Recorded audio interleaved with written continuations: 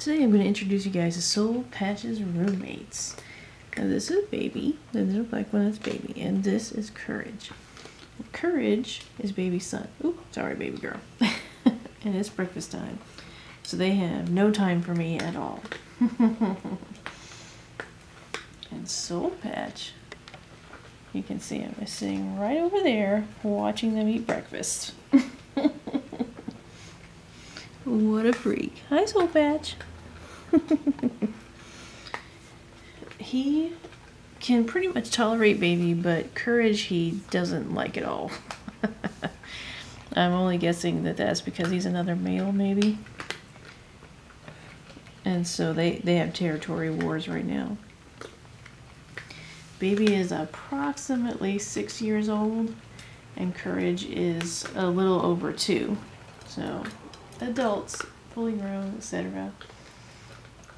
Courage is bigger than Soulpatch, so I think that's another reason why Courage will he will come into the house very boldly because you know is his house before was Soulpatch's, so he is quite encouraged to just come on in with his big bold self and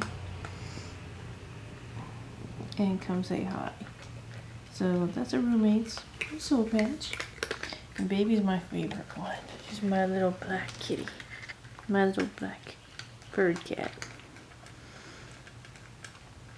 And she has some great eyes too. Yes, she does. They're very bold. A very bold, like, uh, it's very bright, sort of light green. I don't really know how to explain it. But, uh, yeah, so there's his little roommates. He doesn't like them, but that courage. Get your own bowl, sir. What in the world? He likes to do this too. I don't know why. He likes to take from his mama. Hey, what about your bowl? Hmm? What about your bowl? There you go. You still have food in there, sir. so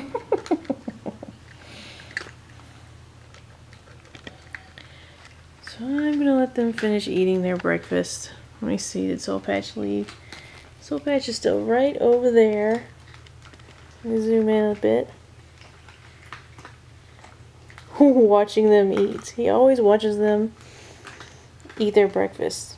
He's very territorial, which is not something I thought he would be, but he is. He's very territorial. And he watches them. And then when they leave, he comes over here and he smells, smells, smells, smells, smells. To see what's going on. Who who were these cats? Even though, I mean, you know, he sees them every day.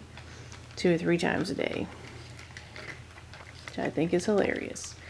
But Anyway, that's his little roommates. You'll be seeing more videos of them later on. Alright guys, have a great day.